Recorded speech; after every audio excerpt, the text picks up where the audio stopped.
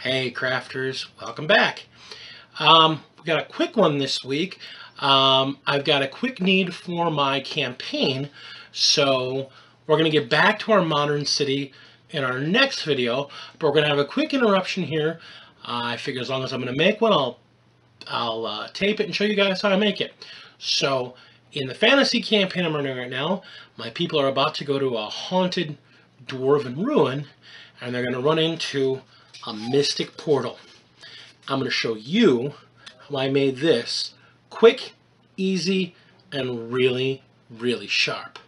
Epic your board, epic your game. Let's hit the table.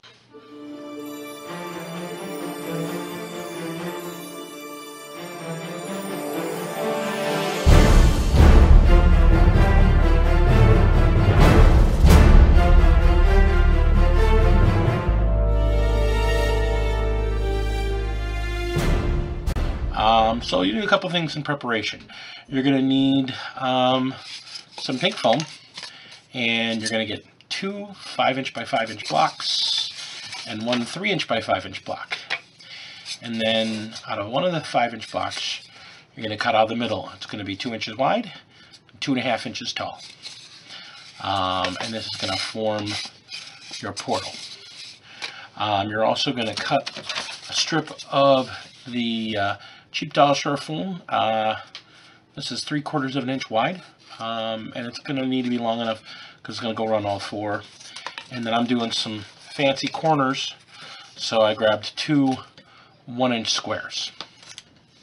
Okay, um, I also grabbed an LED, um, an LED tea light, and these are really cheap. I bought a 24 pack of these uh, at Walmart for just a couple bucks. They're pretty cheap, um, but they work perfectly. This plastic case pops right off, um, so it lowers the height. And what I did to just protect this stuff, I just cut like a V out of it, and then hot glued it to the top, and you end up with this for your assembly. So starts like this, ends like this. So you just pop this ridge off, the whole thing comes out. Uh, you cut this little piece. Just use a just use a pair of uh, of uh, heavy duty choppers or a uh, wire cutters or if you have a heavy duty pair of shears and just cut it so it fits along there and there's a little touch of hot glue. Make sure not to hit any of the switches and stuff because this basically keeps your switch in place. But then what you'll do is you'll be able to cut your thing down in size so it's not so big. Um, and that'll let you get a little bit more out of it. Mine is going to have a dwarven kind of theme to it so um, it's going to be very blocky and squarish in the words of my world. So we're going to take this and we're going to draw a half inch by one inch brick pattern on here because it's going to be part of a tumble down ruin. I'm going to cut part of it down. And then after we've got that all cut out, which is why I'm just using scrap. And after we got that all cut out, then we're going to take some tin foil and we're going to just roll it around and give it this and this texture and then we're gonna go further with it. So let me quick uh, texture this all up and uh, cut a central hole where this is to go and then cut a smaller hole here for the LED to come up. So I'll do it in pieces so you'll see what we're doing. It's a real quick project, real easy, um, but when you're done, you have something really nice. So let me quick do this. I'll be right back. Okay, so we've glued our three pieces together, and then like we did with our ruins and with our tiles, we've taken a razor knife to cut some texture into our pre-textured foam, and then we took a pencil and we ran it through the grooves we cut to make them look better, score them up. And then we took a razor knife and we chipped some pieces out, we distressed the top, took some chunks out here and there, make it look like a ruins, and then we took those pieces and we're going to reuse them. We grab those little chunks and pieces and just a little bit of PVA glue. I like this tacky glue, Aleene's tacky glue, but I just glue them on and put them in different places to really highlight the fact of the trouble. Then we're going to take some more tacky glue and uh, we're just going to spread it in a few places because we're going to add some grit to really add the fact that this is a ruins. So we take the glue, we put it in a few spots we want, we take a junky paintbrush, get it really wet, and uh, we just kind of paint the glue to where we want on the base um, our grit to be. So we just paint it up, make it look about where we want. This is not exact science. This is about how you want. We just take our grit. I love cornmeal. It gives you a nice fine grit. Uh, takes paint really well. Uh, and then I just sprinkle it on here or there. A little more than it's going to actually stick to the glue because that's fine. When it dries, we'll just shake off the excess. We'll take the rest of that glue that's still on the paintbrush and we'll dip it here and there and sprinkle a little bit more here and there just to really dress up the base of this mod, this uh, piece. Okay, now that we're done basing this, we're going to take that foam strip we cut in those squares and we're going to put the decoration around the door. So going to glue in place and then we'll be right back to take a look at that before we do our prime work. Alright, so I've got here the strips put on uh, and I've textured them to look stacks of bricks. I've also put the uh, big corners in place and got some large dwarven magical runes in them, so this place is set. Once the glue's dry, we're going to give it a coat of the black Mod Podge.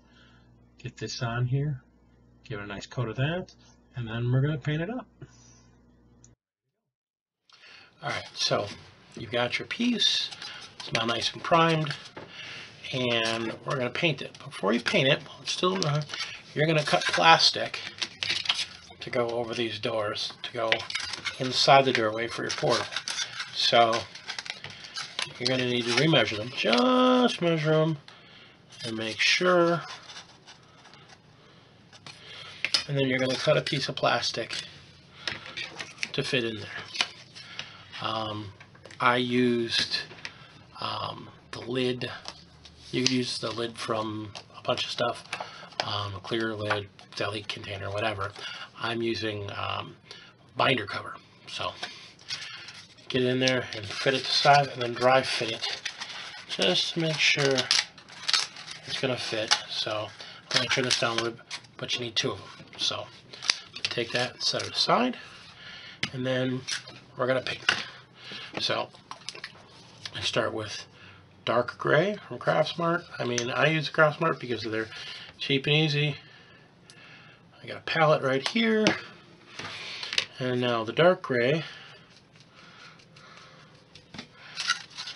So we want to give it a solid coat of the gray, but we don't want to wipe out all the black underneath. So we want to make it, this is our base color, cover it thoroughly, but still make it so we can see the black underneath in some spots for detail.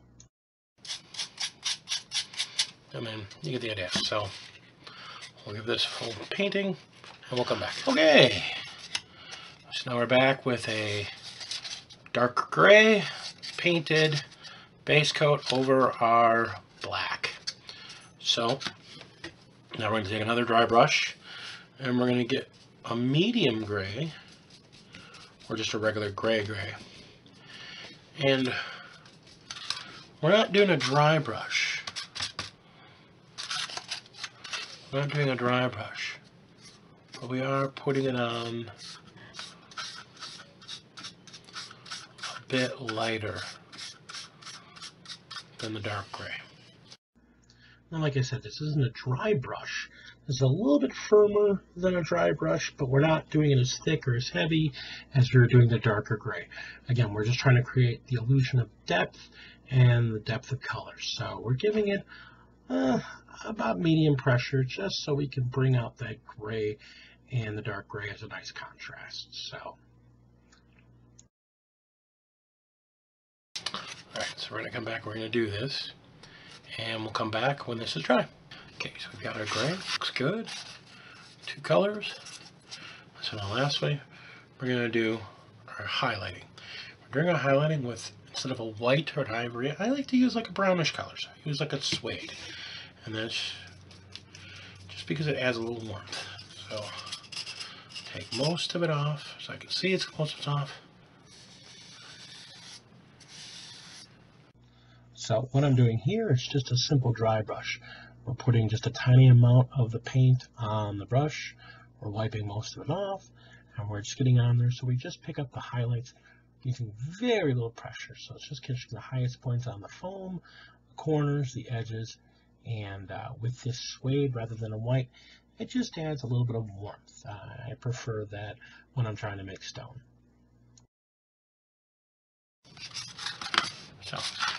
We go. We got just a little bit of that taupe on there, just to add some highlights. Now we're going to add a darker color. Now I'm doing it with the same brush, but I'm using a brick red.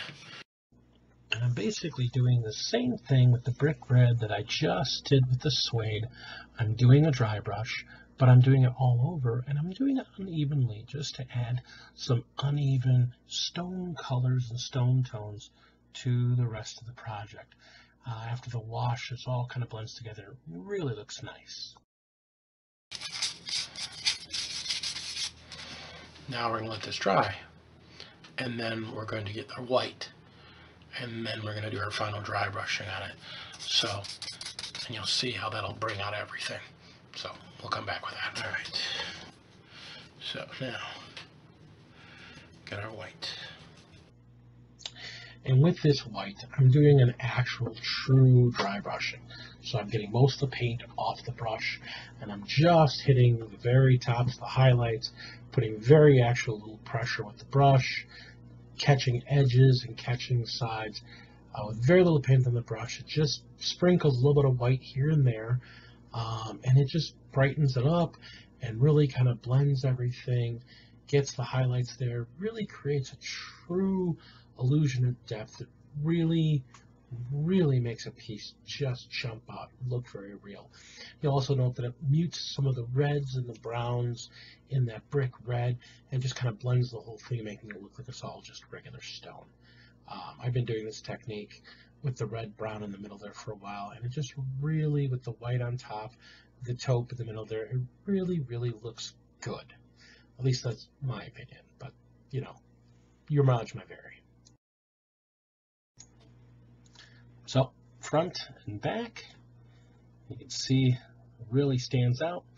And now we're ready for a wash. So let's get to the next step. All right, so we have this, and now we're gonna do our wash. Now our wash is the same thing we've been using all along, warm water, uh, a little bit of paint, a little bit of surfactant I used on. And then we're just going to coat the model liberally and let it dry. Uh, this is not difficult. And let it dry. All right, so we've got our hot glue gun and extra glue, and we got our two windows, or two doors. Now with your glue gun at low temperature, you're going to do some swirly patterns uh, just kind of being random swirls all through it, and uh, just to make it look all mystical and magical and portal-like. So there we go.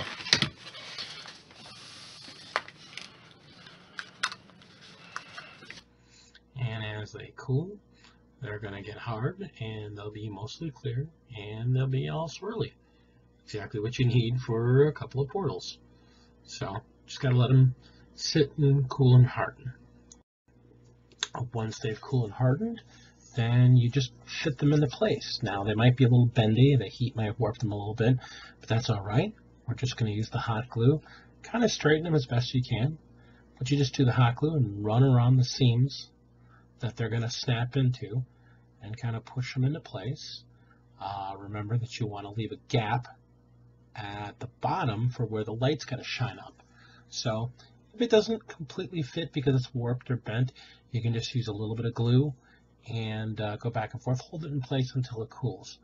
Again, you're going to want to do this on the low temp, but uh, you just stretch the glue over a little bit, and then if need to, swirl it from the edges, and you'll get the effect going. And then we're going to do this the opposite side.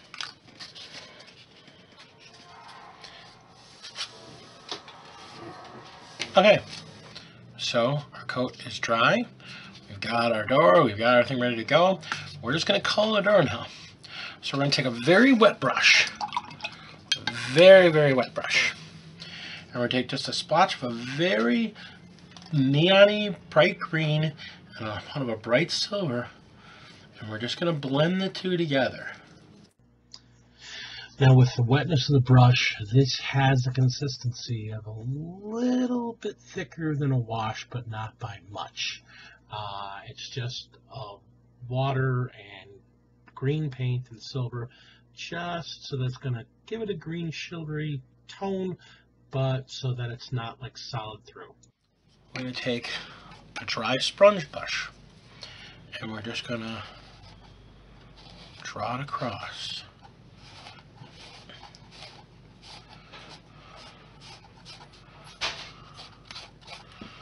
Takes off all our excess. So all it's doing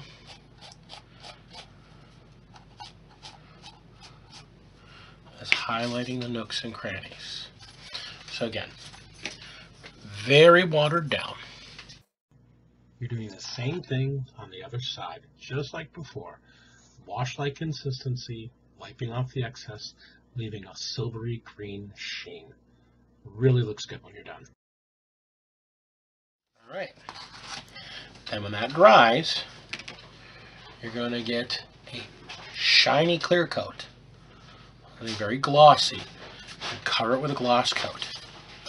And then you're done. You just put your light at the bottom. When it's dry and the gloss coat's dry, we'll come back and we'll get a look at our magical portal. And here we see our intrepid heroes wandering up to the magical dwarven portal. Looks good, guys. Um, I might use a brighter LED or a color changing LED, but what we got here looks good. And uh, it works. It's easy, it's quick, it's something anybody can do. Epic your table, epic your game. Uh, we'll see the table next time, guys. Thanks so much. Subscribe, like, do what you can.